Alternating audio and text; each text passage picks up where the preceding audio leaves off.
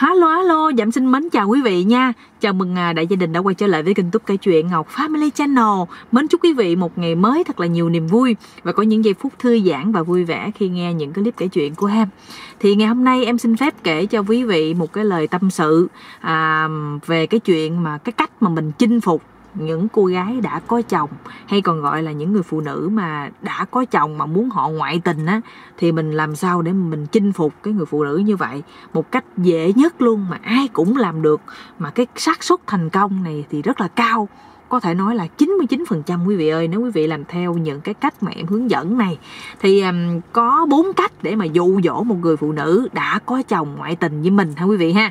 Thì uh, có chồng thì mặt có chồng có chồng thì vẫn anh ẩm anh bồng anh thương. Anh thương em là bởi vì em đã có chồng câu nói đó nó hay nhưng nó đúng, nhưng cũng hơi sai sai. Tại vì á, mình à, biết người ta có chồng rồi mà mình đi theo, mình dụ người phụ nữ mà đã có chồng thì đó là một hành động mà nó hơi hơi sai sai về cái mặt đạo đức. Nhưng mà nếu như nằm ở trong cái trường hợp mà mình đã yêu cô này một cách, gọi là, yêu đơn phương, thương thầm trộm nhớ những cô gái ấy rồi, thì à, bây giờ mình phải làm sao? Đó, thì tình yêu mà nó đâu có phân biệt tuổi tác. Khi mà mình đã yêu là mình chỉ biết mình yêu cô ấy thôi, mình không phân biệt không phân định được đâu là đúng, đâu là sai hết. Và mình sống chết với tình yêu của mình thì điều đó không có gì sai hết. Và nếu như cái cô gái ấy có chồng nhưng mà cổ không hạnh phúc với cái người chồng, hoặc là cổ bị người chồng không quan tâm, không lo lắng và cổ cảm thấy cái cuộc hôn nhân nó giống như địa ngục vậy đó, thì cổ hoàn toàn có thể bước đến tìm kiếm một cái người thứ ba và bạn có thể mang đến hạnh phúc cho cô ấy. Tại sao không? Cho nên là mình cứ thử những cái cách của ngọc nói ha, nếu như mà được á, thì các anh sẽ rước nàng về dinh. Còn nếu như là chắc chắn là được thôi, chứ còn không có nếu như được, quý vị ơi. Thì mến mời quý vị cùng lắng nghe và thưởng thức thử xem những cái cách chinh phục của em nó như thế nào nha. Cách chinh phục gái đã có chồng, hay còn gọi là phụ nữ đã có chồng ngoại tình với mình một cách dễ nhất nha quý vị. Thì um, em xin phép uh, nói luôn. Thì uh, đây là một cái video mang tính chất tham khảo cho nên là quý vị đừng có nói là em suối ai tập bậy tập bạ tội nghiệp em như quý vị. Tại vì á có rất là nhiều người yêu cầu làm cái video này và có rất là nhiều anh chàng đã làm và thành công. Cho nên là em muốn chia sẻ cho nhiều người làm nữa làm nữa để cho các anh có thể uh, chinh phục được cái người phụ nữ mình yêu. Đó thì uh, chúc mừng các anh đã là người may mắn khi xem clip này bởi vì cái clip này nó rất là giá trị luôn. Cách chinh phục người phụ nữ đã có chồng ngoại tình, như thế nào ra sao? Thì à, cái điều trước tiên á, là mình sẽ làm cho những cái điều mà chồng của cô ấy không làm được. Thí dụ như bây giờ á, bạn đang yêu thầm chậm nhớ cái cô hàng xóm đi. Mà cô ấy rất đẹp, nhưng cô ấy đã có chồng, rất tiếc. Nhưng có chồng thì cũng không sao. Mình hãy đừng bỏ cuộc. Mình hãy sống với cái tình yêu của mình mà mình hãy phấn đấu hết mình, theo đuổi hết lòng luôn chỉ khi nào bạn bỏ cuộc thì bạn mới thua cuộc thôi, chứ còn bạn còn cố gắng thì bạn có cơ hội thành công. Và khi mà mình à, đã yêu cô ấy rồi thì à, mình à, hãy làm những cái điều mà cô chồng của cô ấy không làm được. Trong cuộc sống hôn nhân, khi mà họ chưa là vợ chồng á, thì cái sự quan tâm đối với đối phương rất nhiều. Nhưng khi đã là một nhà rồi, ở về một nhà rồi, thì đôi khi cái anh chồng này anh thiếu sự quan tâm với người vợ rất nhiều luôn. Cho nên các anh hãy là một người bạn hàng xóm tốt bụng. Khi các anh nhìn thấy cô nàng thì hãy nói rằng à em à, ơi, chồng em mà đi vắng á, nhà em mà có ga điện, nước hay gì hư á, cái hú anh tiếng đừng ngại anh quanh sửa cho không có tính tiền đâu. Đó. Khi mà nghe những cái lời đề nghị như vậy, bất cứ một người phụ nữ nào họ cũng cảm thấy vui, cảm thấy, ôi, sao cái anh hàng xóm này tốt bụng quá. Vậy thì chừng nào chồng mình đi làm mà không có ai sửa điện, mình cúp điện nhà mình kêu ảnh qua có lý à nha. Thì cô ấy sẽ xem bạn giống như một người bạn. Tình yêu nào cũng phải đi từ tình bạn mới đi tới tình yêu, cho nên các anh đừng nóng vội, cứ từ từ. Từ từ thì cháu nó mới nhừ. Mình mà hấp tấp quá, nó hư bột, hư đường hết. Và tiếp đến, các anh hãy dành cho cô ấy những cái sự quan tâm à, tại vì á, anh chồng á, khi mà sống lâu năm lâu tháng với cô vợ rồi thì chắc chắn rằng sẽ lạnh nhạt và không còn quan tâm đến vợ của mình nhiều mà chỉ quan tâm đến những cái những cái người phụ nữ ở bên ngoài xã hội có những cô gái coi như là đàn ông mà họ thích mới họ nới cũ. Có nhiều người đàn ông thì họ chung thủy với một vợ với người vợ chứ mình không thể quơ đũa cả nắm nhưng họ thường không quan tâm với người vợ nhiều cho nên là các anh hãy dành cho cô ấy một sự quan tâm đặc biệt bằng cách mình hãy xem thử là mình tự tình bạn rồi mình điều tra ra được cái ngày sinh nhật của cổ, hay là mình không biết ngày sinh nhật thì mình hãy dựa vào ngày 8 tháng 3 quốc tế phụ nữ. Và những cái ngày lễ mà người phụ nữ họ đáng lẽ phải được nhận quà. Thì ngay lúc bấy giờ thì các anh hãy mua cho cô ấy những cái món quà giá trị. Ví dụ như một chiếc iPhone mới, hay là một cái cái áo đầm hay là một cái um, ờ, phụ kiện trang điểm trang sức này nọ kia đó những người phụ nữ ai cũng thích những cái vấn đề đó hết. Cho nên là các anh dành những cái món quà nó giá trị. Khi mà các anh tặng cho cô nàng thì nhớ nói rằng à, anh à, em đừng có ngại. Em cứ xem anh là bạn của em đi. Anh thấy đây là ngày à, sinh nhật của em hoặc là đây là ngày à, quốc tế phụ nữ gì đó. Anh nghĩ rằng á em là một phụ nữ rất là dễ thương và chỉ món quà này chỉ phù hợp với em chỉ có em mới đáng. Giống như là xứng xứng với nó thôi cho nên muốn tặng cho em những cái điều tốt đẹp nhất. Đó.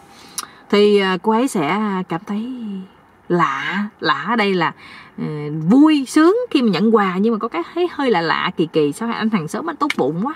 Chồng của mình trời ơi mấy năm trời có tặng quà gì đâu sinh nhật không có cành bông cành hoa nữa. Còn ông này sao mà ông dễ thương quá người xa lạ mà tôi nói thấy thương dễ sợ luôn. Thì các anh sẽ được cô nàng so sánh và thấy rằng anh là một người tốt chồng của cô ấy thiếu sự quan tâm với cổ nhiều quá luôn. Và hãy cho cô ấy biết bạn bạn quan tâm đến cổ rồi bạn lo lắng bạn nhắn tin cho cổ những lúc mà bạn thấy gương mặt cổ buồn cổ bệnh hay cổ không khỏe thì các bạn hãy dành những cái lời quan tâm hỏi han em dạo này anh thấy mặt em xanh xao quá em có bệnh gì không? Em có cần anh à, có những cái liều thuốc anh muốn à, gửi cho em cái thuốc kho thuốc cảm gì đó vân vân. Và chính những cái à, lời nói à, quan tâm đó sẽ khiến cho cô nàng cảm thấy trời ơi sao mà anh chàng này á là ảnh lo lắng cho mình quá. Chồng của mình, nhiều khi mình bệnh mà chồng của mình không có một cái viên thuốc cho mình luôn. Cho nên á, chính những cái sự quan tâm này khiến cho cô ấy cảm thấy rất là cảm ơn bạn và cô ấy nghĩ rằng á, bạn và người chồng á, là coi như là thiếu sự quan tâm quá bạn quan tâm đến cổ nhiều như vậy. Cho nên là cổ sẽ đưa lên bàn cân để so sánh và thấy rằng cái tình cảm của bạn dành cho cô ấy rất là nhiều luôn. Cổ sẽ bớt những cái rào cản lo lắng là bạn đến với cô ấy vì mục đích gì. Tuy nhiên phụ nữ họ có cái giác quan thứ sáu. Họ thấy một người đàn ông tốt như mình thì họ rất là ngại. Họ sợ chồng họ phát hiện chồng họ sẽ nghĩ này nghĩ kia nhưng khi bạn tốt với cô ấy vì chỉ vì mục đích đơn giản là bạn nghĩ cô ấy là hàng xóm mà thôi, thì cô ấy sẽ bớt đi những cái rào cản lo lắng về những cái vấn đề đó. Và tiếp theo đó là mình sẽ canh giúp mà vợ chồng nào mà cơm không lành, canh không ngọt, làm sao tránh khỏi những lúc vợ chồng họ gây gỗ, cãi nhau, rưng trời đất. Thì chính những lúc này bạn hãy dành cho cô ấy những sự, lúc đó đó là quan tâm và đặc biệt nha, lúc đó tại vì vợ chồng ta cãi lộn, chồng của người ta thì khi mà giờ cãi nhau thì thường thường á là hay họ hay um, coi như là coi trọng cái tôi của mình sẵn sàng uh, nói những câu nói làm tổn thương đối phương. Và khi những người phụ nữ họ nghe được những cái câu nói thì họ rất là đau buồn. Cho nên là người phụ nữ họ yêu bằng tay. Chỉ chỉ có những cái lời nói ngon ngọt mới khiến cho trái tim người phụ nữ sao lòng. Cho nên là những cái lời nói lúc đó đó làm cho cô ấy cảm thấy rất là muốn đi ra khỏi căn nhà, muốn đi một nơi đó thật xa để không nhìn thấy mặt ông chồng của mình nữa. Lúc bây giờ các anh hãy xuất hiện. Xuất hiện như một ông bụt vậy đó. Các anh hãy hỏi, em có muốn đi đâu chơi không? Anh chở em đi tại thấy chồng em sao cứ cãi nhau với em hoài. Thì cô ấy sẽ khóc bù lu bù đơ vậy nè. Rồi bắt đầu leo lên xe của anh. Anh chở anh chở cô ấy đi một cái nơi thật xa, ví dụ như vùng biển nào đó, vũng tàu hay gì đó. Một cái biển đêm như vậy thì không có người nhiều. Thì lúc đó mình sẽ có một cái thời gian không gian lý tưởng chỉ có hai người. Thì mình hãy à, là một người bạn bạn san sẻ quan tâm những cái khó khăn những cái buồn bã của cô ấy. Hãy nói về cái chuyện gia đình của cổ anh thấy chồng của em á, làm vậy với em không có đúng. Tại vì dù gì em cũng là người phụ nữ cho nên là ờ, người đàn chồng á, nên là coi như là nhường nhịn vợ chút có mất mát gì đâu. Chứ ừ, anh mà có người vợ như em anh cưng chiều hết mực luôn có đời nào mà dám cãi nhau như vậy? Thì cô ấy sẽ rất là cảm động cái tình cảm mà cô ấy dành giống như là đối với bạn á, thì cô ấy chỉ nghĩ bạn là bạn thôi nhưng bạn bè thôi. Nhưng mà khi mà nghe được những cái lời nói thì cô ấy cảm thấy rất vui. Thì ngay lúc này đây các bạn đừng cái chần chờ gì hết. Hãy thổ lộ hãy tỏ tình ngay lúc này. Hãy nắm lấy tay cô tay cô nàng. Và nói rằng anh yêu em anh yêu em từ lâu lắm rồi nhưng không dám nói ra sợ nói ra thì kỳ quá. À, giống như là mình là kẻ thứ ba phá hoại gia đình hạnh phúc của gia đình em vậy đó cho nên là anh không có dám nói. Nhưng lúc này đây thì anh thấy rằng là chồng em không có mang đến hạnh phúc cho em. Em sống trong cái cuộc hôn nhân giống như địa ngục vậy đó thì em nên uh, sống cho bản thân mình. Tại vì người ta chỉ sống một lần thôi không ai sống hai lần nữa đó. Cho nên là mình à, hãy tìm những cái gì mình thích mình sống hạnh phúc với ai thì mình hãy đến với người đó. Anh sẵn sàng là người chờ đợi em. Nếu như lúc nào đó em buồn, em thất vọng, em cần một bờ vai thì anh luôn bên cạnh em sang che chở cho em. Dù em có chấp nhận tình cảm của anh hay không thì anh vẫn là bạn của em, vẫn muốn ở bên cạnh em che chở bảo vệ cho em trời ơi, nghe câu nói này xong là bảo đảm là cô ấy sẽ khóc và ôm lấy bạn. Một trăm phần trăm những người phụ nữ họ ngoại tình ở thời điểm này quý vị ơi. Cho nên đây là một cái video nó hết sức giá trị. Hy vọng rằng cái video này sẽ giúp ích cho các bạn chinh phục đối phương nha quý vị ha. Thì chinh phục một người phụ nữ đã có chồng nó không khó. Nhưng mà chỉ có cái là mình có biết cách, mình có kiên nhẫn, mình có làm theo đúng cái kỹ thuật và đúng cái thời điểm hay không để mình chiếm lấy trái tim của nàng người phụ nữ.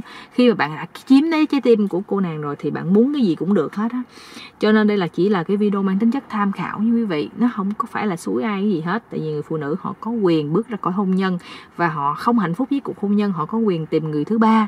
Miễn là hai người sống hạnh phúc với nhau là ok. Rồi, cảm ơn quý vị rất nhiều vì đã lắng nghe những cái lời chia sẻ của em. Xin chào và hẹn gặp lại mọi người trong những clip tiếp theo nha. Xin chào.